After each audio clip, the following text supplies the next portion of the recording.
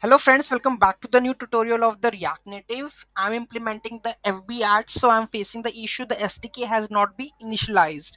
Make sure to call Facebook SDK initialize first, okay? So how to solve this issue? Before that, those who haven't subscribed my channel yet, please do subscribe my channel. And if you like the video, please do like, share and comment on my video. So let's get started. So for that one, what we have to do is you have to go with this one so first of all, Android manifest.xml, you need to add this code. This one, activity Android name, com React support, dev support, this one, and activity this one, and metadata. These things you need to be added over here. Okay. So this is that part. After that, you need to go to the strings.xml.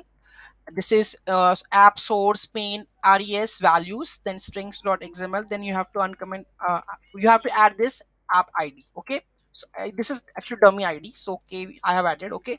So add this one go to the terminal again. So this is the terminal where i need to again rebuild the app. So i'm building the app again.